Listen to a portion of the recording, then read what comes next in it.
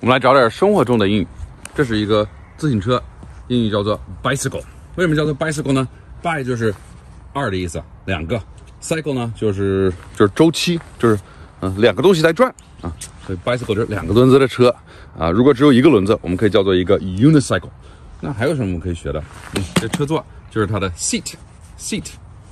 那这个轮子，轮子就是它的 wheel。轮胎呢？轮胎就是它的 tire。